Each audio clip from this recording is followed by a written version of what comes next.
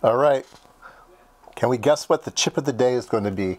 Um, this is like one of those tests that you have to take. This thing, this thing, this thing, what's the next in this series, okay? Like, like you multiply, oh, it's a square, this is, this is that square, this is that squared, and then what's this one here, right? So we kind of have a trend going here. It's small, bigger, bigger. Or maybe it's number of pins. We have 8 pin, 16 pin, 32 pin, 8, 16, 32. Maybe, maybe that's the sequence. So if you want to pause the video now to try to guess what the next, uh, next one is in the, uh, in the sequence here. All right. There. it's just size. Have you ever seen such a monster IC? It's it's like this giant cockroach. It's it's it's really wild. And guess what? It's surface mount. It's it's got gull wings on it. I love this thing. It's hilarious. It's this just super big giant thing. Um, it's uh, 48 millimeters by 25 millimeters. it's just giant. How many pins is it? One, two, three, four, five, six, seven, eight, nine. So it's an 18, an 18 pin IC, but look at the size of this thing. All right. It's not exactly a, it's not exactly a chip. It's not exactly an IC. It's a DC to DC converter. okay.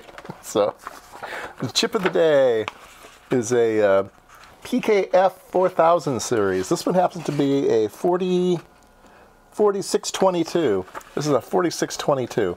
So it's DC to DC converter all in a package. And this company decided to go ahead and just make it into a, a big IC. they actually have a through-hole version, but this is the gull, the gull wing version, of course, if it was gone to surface mount. So yeah, gull wing. 83% efficiency. Yeah, that's pretty good. Um, yeah. Anyway, yeah, there you go. Um, let's go ahead and oops. Let's go ahead and wire this thing up so we can play with it.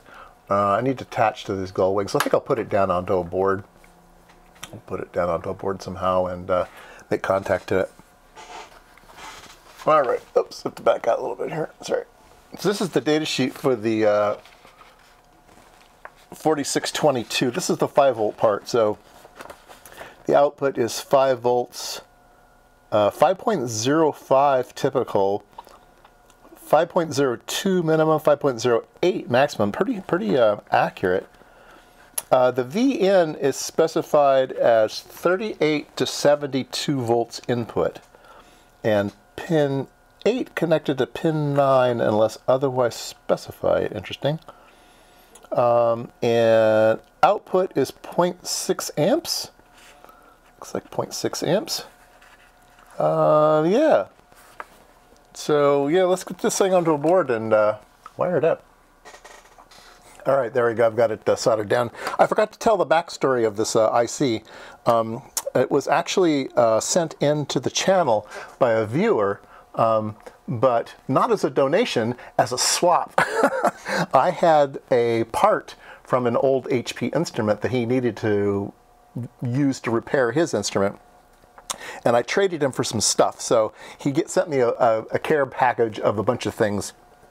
And this is one of the things he sent, which I just adore. I just think this thing's great.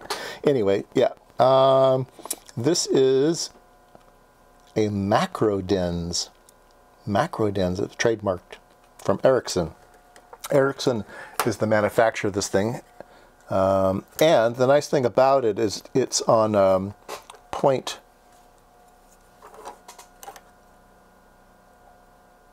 point two center. So uh, there's five per in, five, five leads per inch. anyway, so because this is a hundred uh, centered uh, breadboard, I could just put every two, one, one pin goes for every two uh, uh, connections on the on the PC board, so matched out perfectly. So yeah, let me add some wires where the goes ins and the goes outs.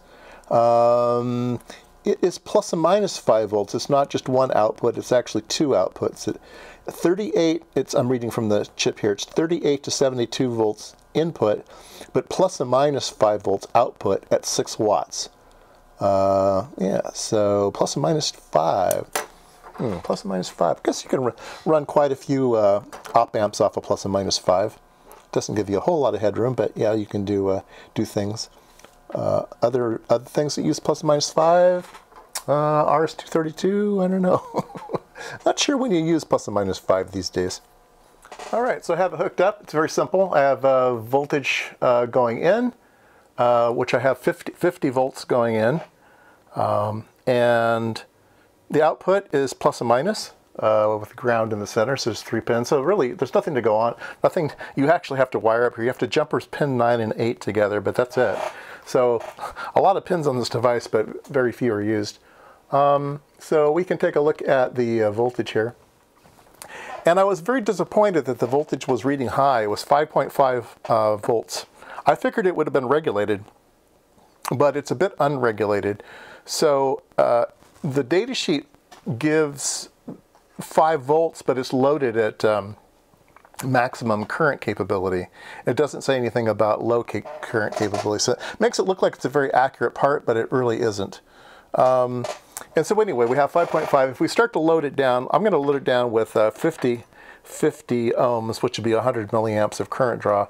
And you can see it drops down to uh, 5.1 5.1 volts with a 50 ohm load on it. So that is that is disappointing. I'm going to put a 20 ohm load on it, um, which would be uh, closer to its 5 volt. I think I needed 10, yeah, I needed about 8 ohms for it to be fully loaded and I just grabbed a 20 here. But you can see that it's uh, it's uh, definitely within spec now. So it's definitely a, a, part that expects to be loaded down.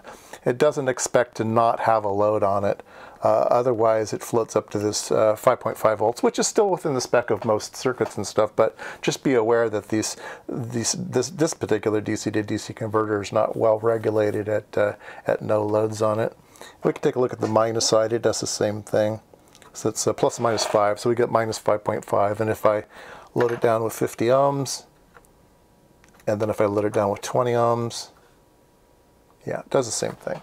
Anyway, I don't know if they're made anymore, but this is a uh, Ericsson uh, PKF module, a 4000 series PKF.